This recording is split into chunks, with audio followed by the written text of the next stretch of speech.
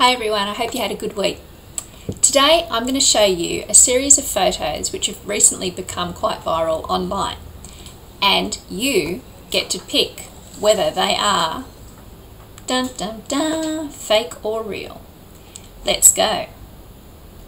Who remembers seeing the MGM lion at the start of movies?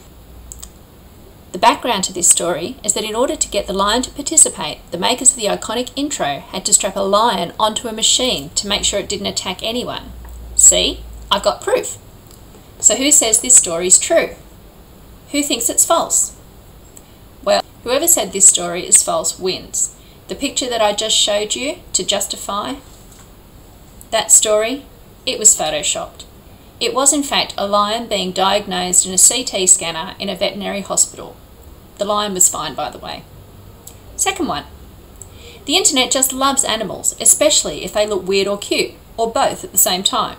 So there's no surprise that this photo of a cat with an adorable moustache and eyebrows would go viral. Real or fake, do you think? Well, unfortunately it's fake, but not all of it. The cat does in fact have that incredible moustache, but the eyebrows are, are a result of clever Photoshop manipulation. Number three now. The next viral sensation we have was the fried rice meme that showed a man making an incredible wave of rice in his pan. Imagine making this much fried rice. He must have had a huge family. What do you think?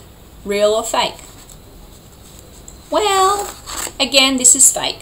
This image quickly received a lot of attention online, and people from all around the world started to send in their own photoshopped images of the rice wave.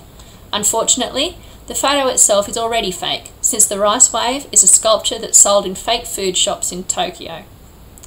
Well, finally, my last one is a picture of the incredible Turtle Mountain. What an incredible picture! And how uncanny is the likeness to the head of a turtle? So uncanny because it's a fake. This is the real mountain. Still beautiful, but less animal-like. This is Pilot Mountain in North Carolina. Well, why did I show you all of those photos and why did we play real or fake? Well, today we continue in our look at the book of Acts and we get to the part where some people are telling the Gentiles that Paul had previously visited that in order to follow God, they had to get circumcised and follow the laws of Moses. We find this division in thinking here, and Paul travels to Jerusalem to see the other apostles to ensure his teaching and thinking was correct. That you didn't need to be a Jew or convert to Judaism in order to be saved. After all, we had read earlier in the book of Acts that the Holy Spirit was given to the Gentiles after accepting Jesus as their Saviour. So, we'll be spending time looking at what makes us a true Christian. And we'll be doing that at 10.30 with the kids on Zoom.